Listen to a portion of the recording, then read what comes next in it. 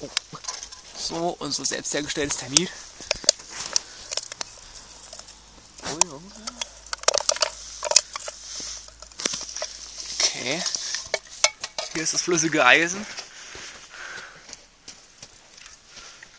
So, jetzt probieren wir es nochmal in Gang zu bringen. Fortsetzung folgt.